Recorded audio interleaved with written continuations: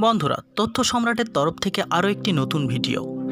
ইতিহাস, সাবজেক্টটি আমাদের অনেকের কাছেই খুব বোরিং একটা সাবজেক্ট। কিন্তু আজ আমি আপনাদেরকে ইতিহাসের এমন কিছু অজানা ও মজাদার তথ্য বলব, যা ইতিহাসকে খুবই ইন্টারেস্টিং সাবজেক্ট বানিয়ে তুলবে আপনাদের কাছে। আর খুব কম মানুষই এই তথ্যগুলি সম্পর্কে জানেন। তো চলুন বন্ধুরা, ভিডিওটি শুরু করা যাক।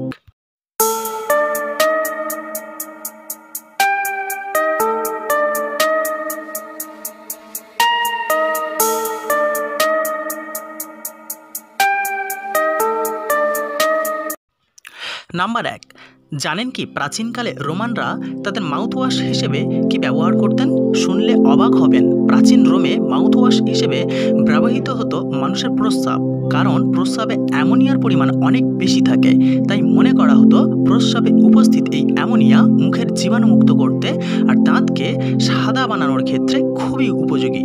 তাই আঠারো শতাব্দী পর্যন্ত মাউথওয়াশ হিসেবে এই প্রস্রাবের ব্যবহার খুবই জনবহুল ছিল। এখানেই শেষ নয়। যখন রোমানরা জানতে পারল প্রস্রাব মুখ পরিষ্কার করে, তখন তারা এটি ডিটারজেন্ট হিসেবেও ব্যবহার করতে শুরু করেছিল। নাম্বার দুই, পৃথিবীর দীর্ঘতম দেওয়াল চীনে অবস্থিত। সেটা কারোরই অজানা নয়। কিন্তু ঠিক কত বছর ধরে এই দেওয়াল তৈরি হয়েছিল অথবা কতজন শ্রমিক প্রাণ হারিয়েছিল, সেটা আমাদের বেশিরভাগ জনেরই অজানা। তবে শুনুন, চীনের এই দেওয়াল সম্পূর্ণভাবে তৈরি হতে সময় লেগেছিল দুশো বছর ধরে। তবে এই দেওয়ালের পিছনে কত মানুষ প্রাণ হারিয়েছিল সেটা শুনলে আপনি চমকে যাবেন। প্রায় চল্লিশ লক্ষ মানুষ প্রাণ হারিয়েছিল এই দেওয়াল তৈরি করতে। আর তাদের অধিকাংশই সমাধি দেওয়া হয়েছে এই দেওয়ালের নিচে। নাম্বার তিন, আব্রাহাম লিঙ্কন ছিলেন একজন সফল রাজনীতিবিদ। তিনি ছিলেন আমেরিকার ষোলোতম প্রেসিডেন্ট। কিন্তু জানেন কি, রাজনীতিবিদ হওয়ার আগে তিনি একজন সফল কুস্তি চ্যাম্পিয়ন ছিলেন। তিনশোটির বেশি কুস্তি প্রতিযোগিতায় তিনি যোগ দিয়েছিলেন। তার মধ্যে মাত্র একটি প্রতিযোগিতাতে তিনি পরাজিত হয়েছিলেন। উনিশশো বিরানব্বই সালে ন্যাশনাল হল অফ ফেমে তার নাম অভিষিক্ত হয়েছিল। নাম্বার চার, নর্থ এশিয়ার মঙ্গোলিয়ায় ক্রিমিনালদের এক অদ্ভুত অমানবিক পদ্ধতিতে শাস্তি দেওয়া হতো। যদি কেউ ক্রাইম করত, তাহলে তাকে কাঠের বাক্সে বন্ধ করে রাখা হতো। এমনকি অনেক সময় খেতেও দেওয়া হতো না। আর এইভাবে না খেতে পেয়ে অনেক অপরাধী অসুস্থ হয়ে পড়তো এবং পরে মারা যেত। ভাবুন তো, এমন নিয়ম যদি আমাদের এখানেও থাকতো, তাহলে অপরাধীরা হয়তো অপরাধ করতেই ভয় পেত। নাম্বার পাঁচ, বিশ্ব ইতিহাসে হাজার হাজার যুদ্ধের কথা উল্লেখ আছে। তবে ইতিহাসের সব থেকে যুদ্ধ কতক্ষণের ছিল সেটা জানেন? আর কাদের মধ্যেই বা হয়েছিল? ইতিহাসের সব থেকে সংক্ষিপ্ত যুদ্ধ হয়েছিল ইংল্যান্ড ও জাঞ্জিবারের মধ্যে। সেটা মাত্র আটত্রিশ মিনিট ধরে চলেছিল। নাম্বার ছয়, হিটলার, মুসোলিনি ও স্টালিন। এই তিন ঐতিহাসিক চরিত্রের কথা আমরা সকলেই জানি। সাধারণ মানুষকে এরা যে কীভাবে শোষণ করেছিল তা কারোরই অজানা নয়। অথচ শুনলে অবাক হবেন, এরাই একসময় নোবেল পুরস্কারের জন্য মনোনীত হয়েছিল।